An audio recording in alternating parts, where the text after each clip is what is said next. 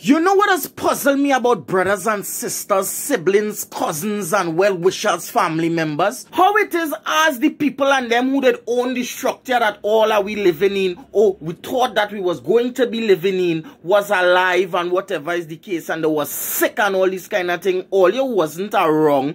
All you ain't change pampers. All you ain't went and buy food. All you ain't go market. All you ain't go grocery. All you ain't cook. All you put them in a room down in the back and, and you know, Move as though they're not alive, as though they're not humans. You ain't clean dog shit, feed the goat, feed the fish, tie out the rammy, bring in the cow, nothing at all. We ain't see all you at all in the sick times. But as soon as the person come and dead, all you fighting for house.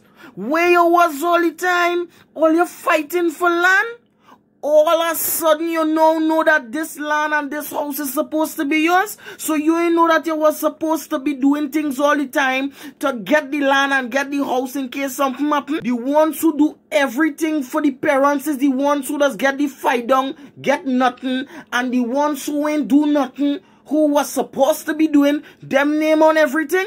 Put my name on where is mine early. I don't want when you're in sick times and you can't write your best child, your best child ain't come and do nothing for you, but you want to get, hey, nah, that can't work. I always know all you had all your best child, but all your best child ain't doing nothing for you. Just coming, getting all the praise, all the money on them name, all the bank this on them name, the ward, the, the wardrobe on them name, the car outside in the garage on them name, and I walking my ass off. I come in making soup, feeding you, nothing for me. You end up with grandchildren and them and all in him do nothing for you but suck your pension and break up your thing in your house. But yet still them get everything.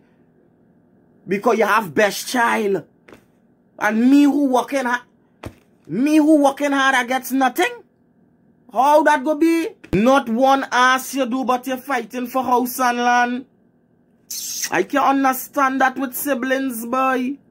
Ways. So if you know your name on all the possessions because you're as boss, I go and get the house and the land. Eh? Well, all the possessions on your name, come and do the work now. We don't want the Casper and the Houdini. Put in the work now, else anything happen to the sick and ailing, do not come because it will have bacchanal.